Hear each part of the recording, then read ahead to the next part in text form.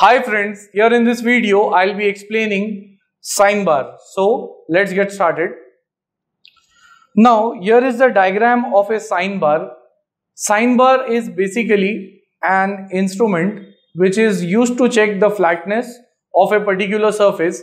Also with the help of sine bar the angle can be adjusted and as per the diagram which is there in front of us it consists of two rollers as we see here now these two rollers are finely finished and they are perfectly ground.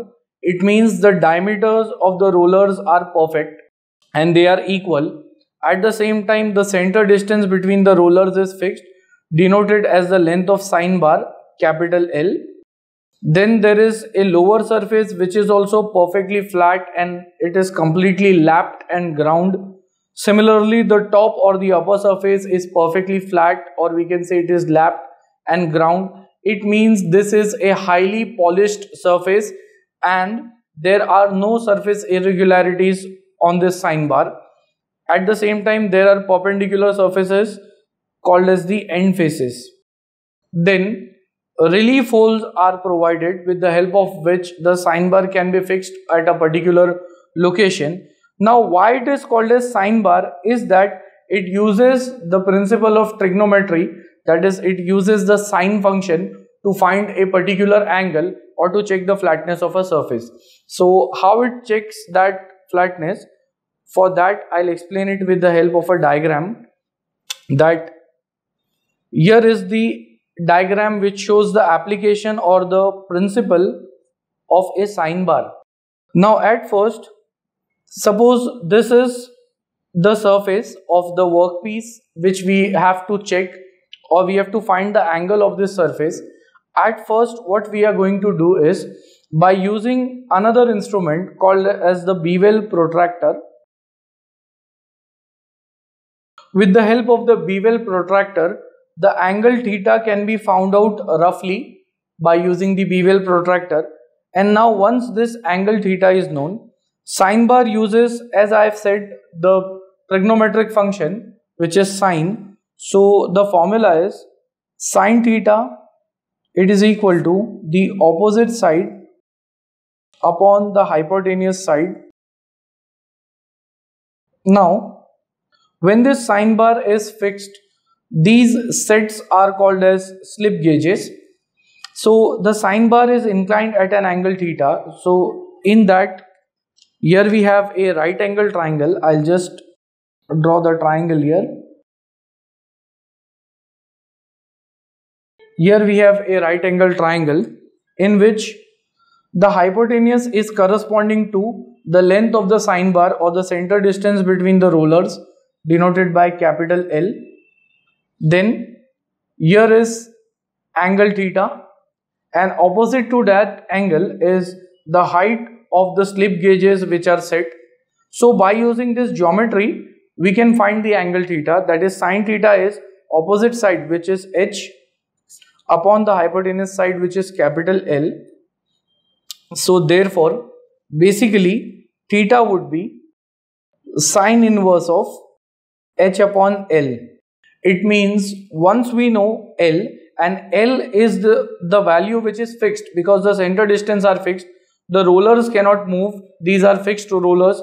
So capital L would be known to us before. And small h can be found out. This small h indicates the height of the slip gauges. Slip gauges are set of perfectly flat strips of various thicknesses which has to be set over here.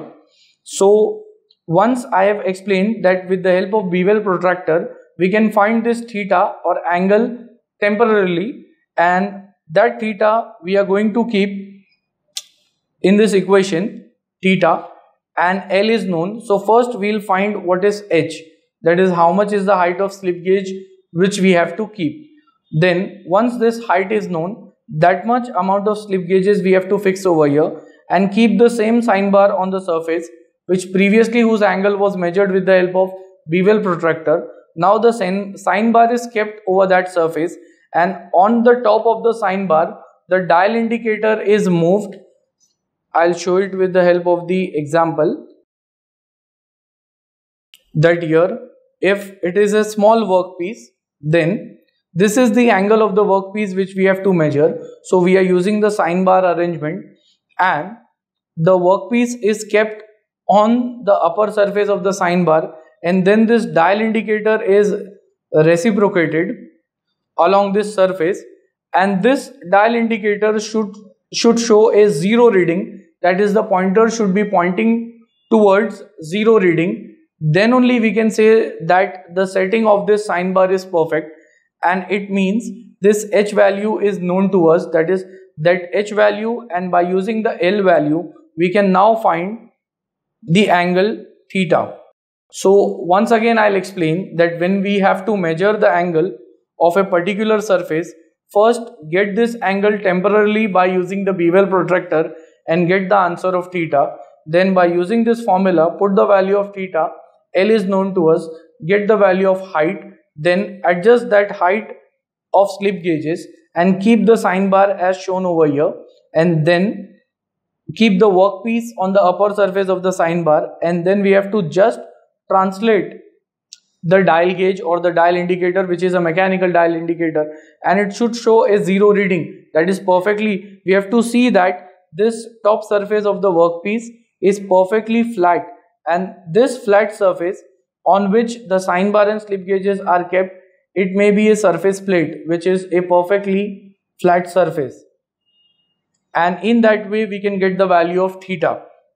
So that is the application of sine bar similarly we can say that if the workpiece is bigger like i'm showing the example here that if it is a big workpiece in that case the sine bar is kept on the workpiece and the arrangement is in such a way that here we get the height of slip gauges and similarly by using the formula sine theta is equal to h by L.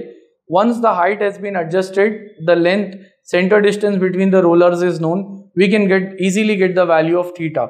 Now one of the disadvantages of the sine bar is that it requires too much of setting. It means it takes lot of time in order to calculate the angle. At the same time your sine bars cannot be used for an angle above 45 degree. It means it is there is a limitation that sine bars can measure angle only below 45 degree. The reason being when the angle value increases the error in measurement will increase. Why? Because the dial indicator or the dial gauge which we have here it will continuously go on deflecting when the angle is up to it is if it is greater than 45 degree then the pointer would be continuously deflected. That is it will become very difficult for us to keep the dial, dial indicator pointer to 0 so it means if the angle measurement is acute that is also less than 45 degree then only we have to go for sine bar. And as we have seen this instrument requires too much of setting but with the help of slip gauges there also we need to be accurate to adjust the height. So it means this instrument is quite time consuming in order to measure the angle of any particular surface. So in short that was an explanation regarding the sine bar. At the end, if you all find my videos helpful, you all can like, share, comment and subscribe our channel and share it amongst your family and friends. Thanks for watching.